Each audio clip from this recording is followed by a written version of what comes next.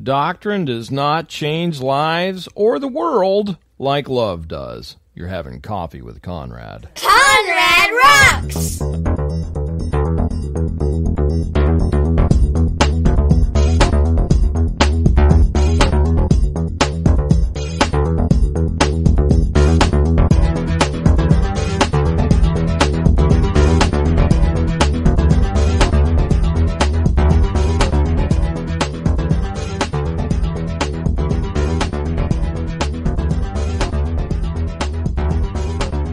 Welcome, welcome, welcome to another edition of Coffee with Conrad. This is Conrad from ConradRocks.net.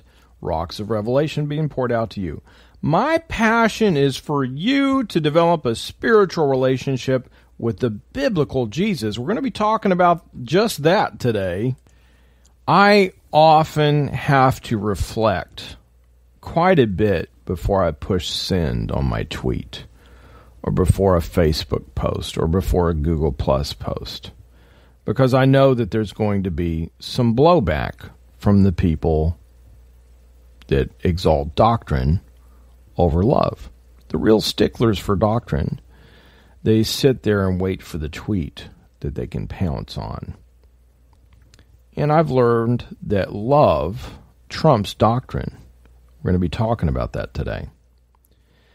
When I'm talking today, I want you to think about Jesus' command for us to love one another. For the fact that our love for one another will show that we're the disciples of Jesus. Now, keep that in your anchor in your spirit as you're listening to this podcast. Now, I basically said that doctrine doesn't change lives. Doctrine doesn't change the world like love does. When Jesus was dying on the cross for you and me and our enemies, it was not because of some amazing epiphany of Old Testament scripture. Remember that the Pharisees and the Sadducees and the scribes were attacking Christians because of their stance on Scripture. Now, what's the motivation behind that attack? If you remember, it had a lot to do with, hey, you don't you don't agree with my doctrine, right? So oftentimes when I'm about to send out a tweet, I realize that you know it's only 140 characters. People may not get the gist of what I'm saying. Um, they probably don't love me. I'm pretty sure all 34,000 followers of me on Twitter don't love me.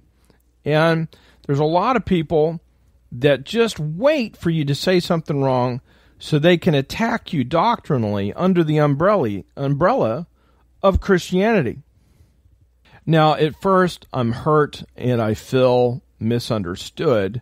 But as I pray, you know, this scripture comes to mind in Matthew 5 10 through 12 Blessed are they which are persecuted for righteousness' sake, for theirs is the kingdom of heaven.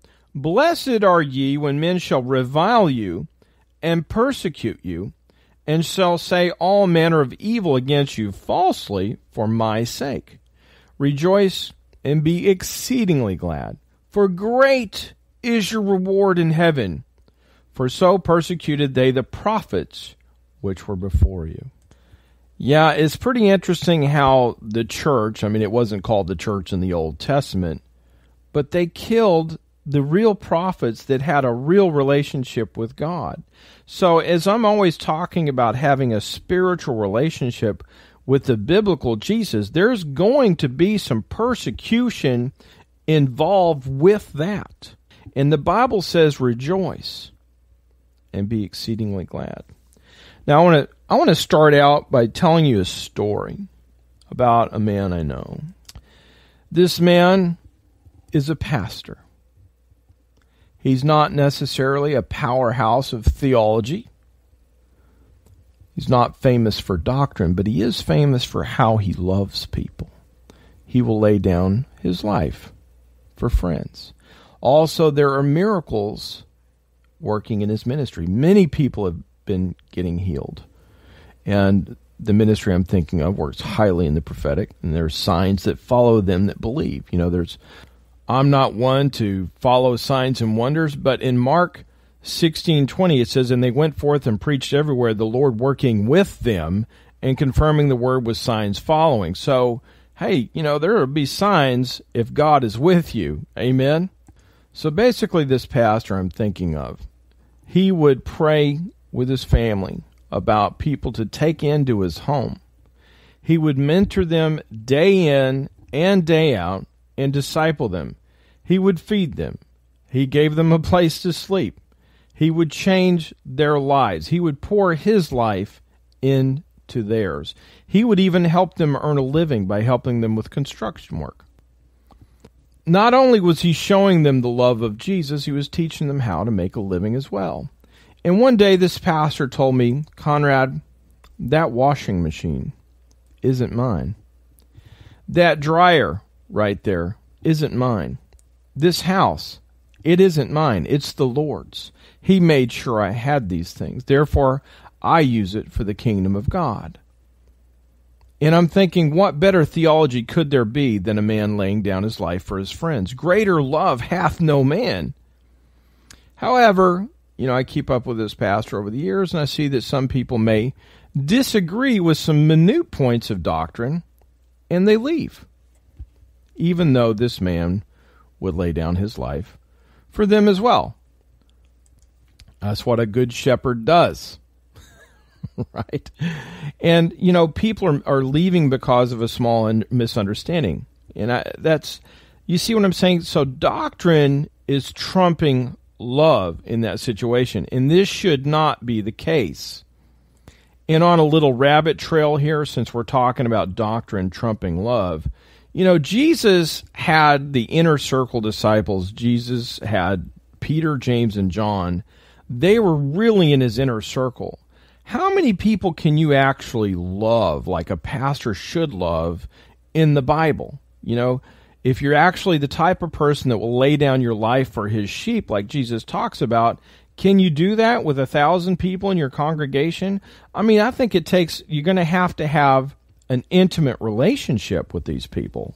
There's something, there's something wrong with the largeness of it. We need to have intimate relationships with people because Jesus says they will know you're my disciples by the love you have one for another. So we need to have this love. This love is important.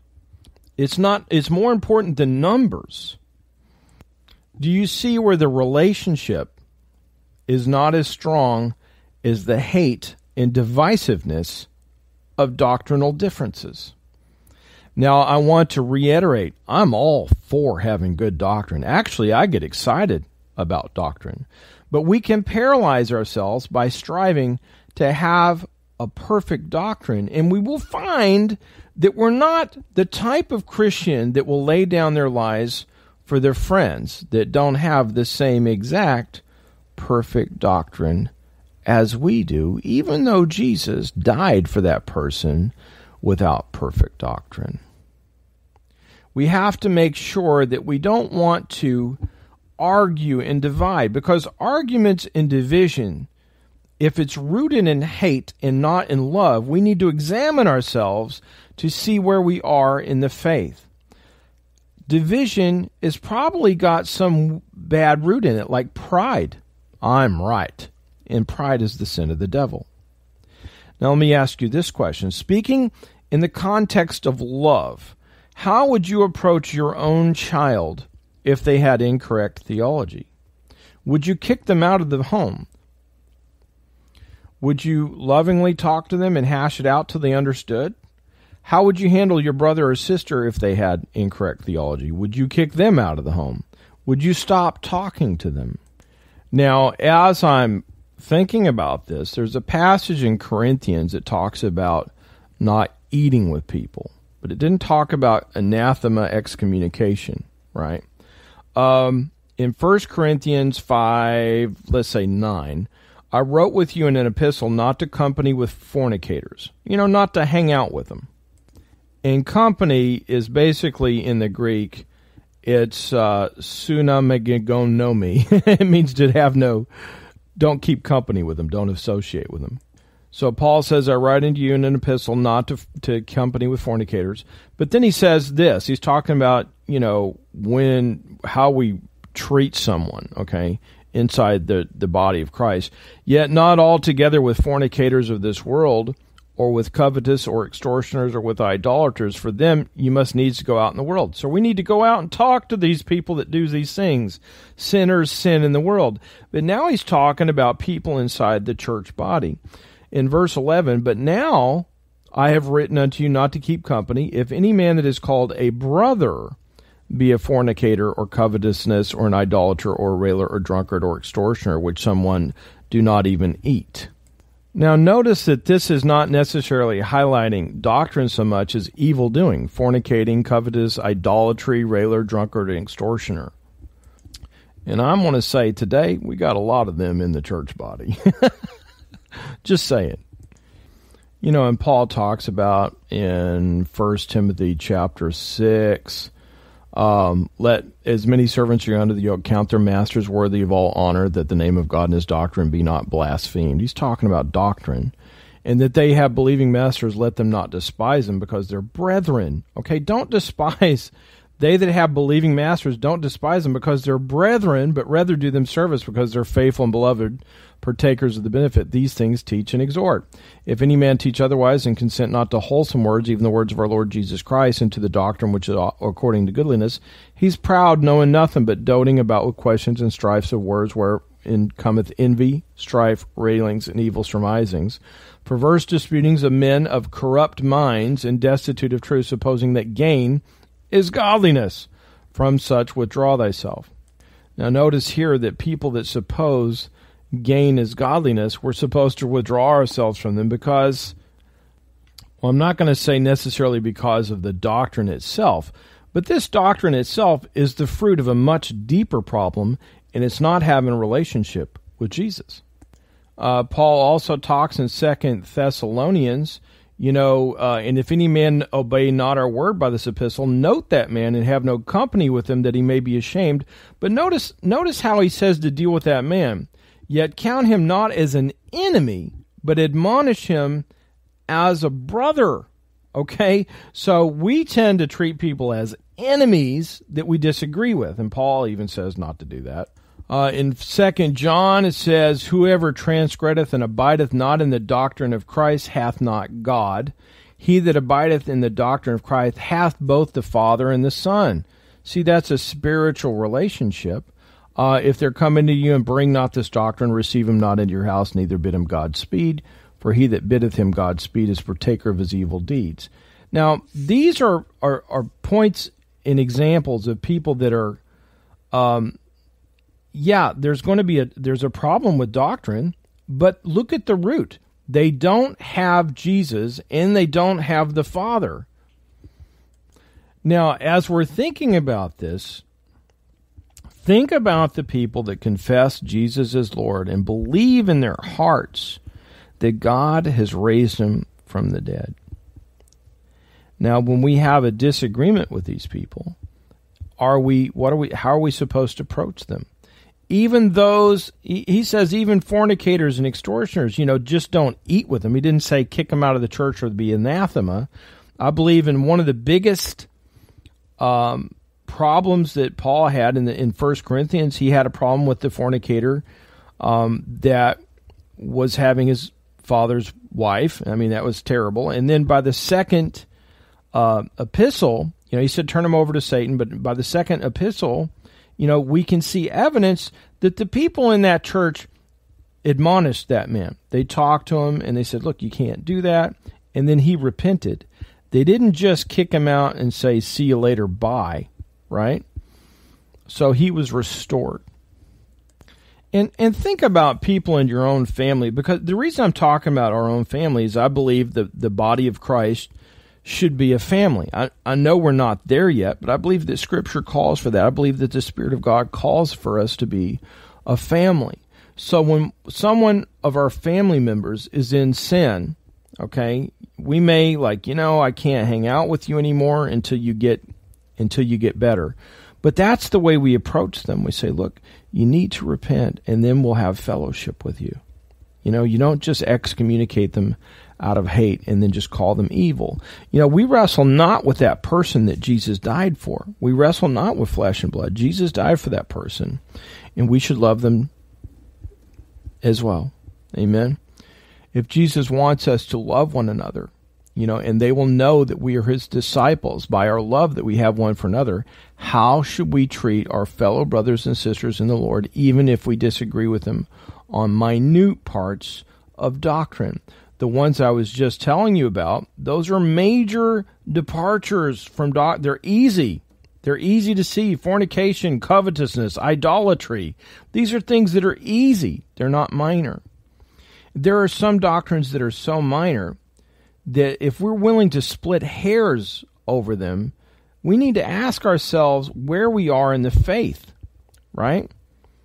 I believe that, that technically Pentecostals and cessationists should be able to work together in our communities to transform the world around us for Jesus Christ. Amen.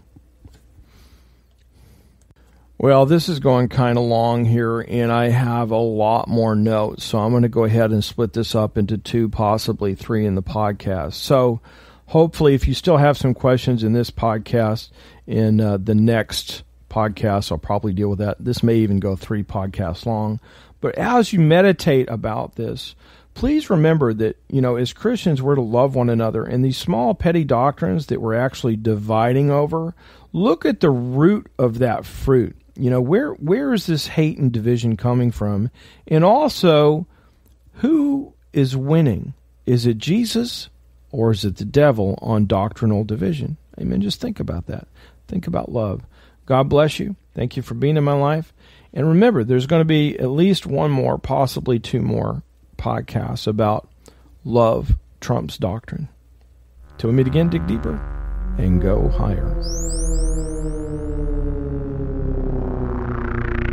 Dig deeper, go higher at ConradRocks.net.